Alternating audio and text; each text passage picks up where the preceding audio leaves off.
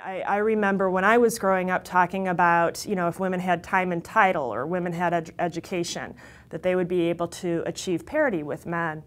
But when you look at the statistics, it still is not occurring. And why can you have um, the majority of college graduates being female and yet a high school guy earning more than college graduated females? So there's, there's definitely an issue.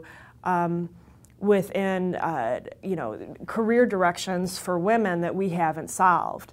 Um, what I found in my own career was uh, to to find the men that I was working with who actually believed in women's empowerment and um, speak to them about their value as mentors.